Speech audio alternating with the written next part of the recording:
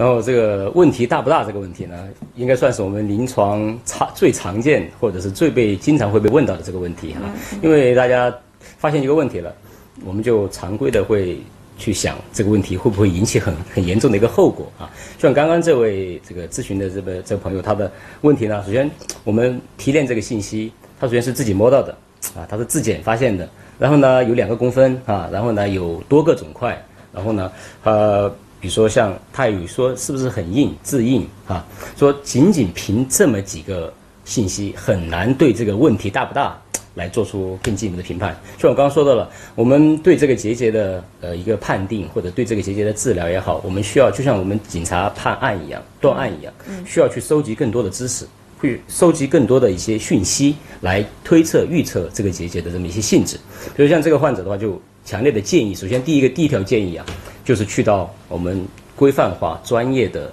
专科来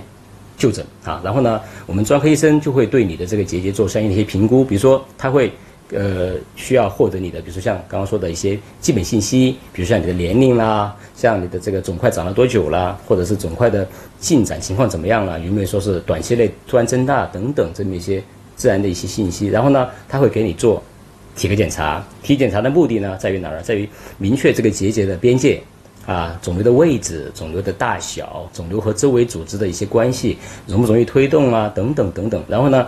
查体过后还会有呃我们常见的一些辅助检查，他刚刚说到了，比如说我们乳腺常见的像乳腺的超声、超声检查，它就可以提示你这个肿块的边界、肿块的回声、肿块的血流信号等等。然后呢，还会有我们乳腺的。X 线检查就是我们的钼靶检查，它会提示这个肿块也是一样的，肿块的大小、位置等等。它还会有一个特殊的情况，它就会看这个肿块内部或者是肿块周边或者整个乳腺内有没有一些异常的一些钙化灶啊。如果这个肿块高度怀疑有问题，我们还会呃有更更精确或者更进一步的像磁共振的检查，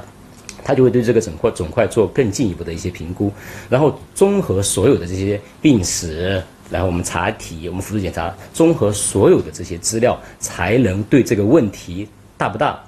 做出一个初步的预判啊。就算如果说怀疑有问题，还需要入院做更细致、更详致的一个后续的一个治疗策略的制定。然后，如果是个癌或者如果不是个癌，它的治疗。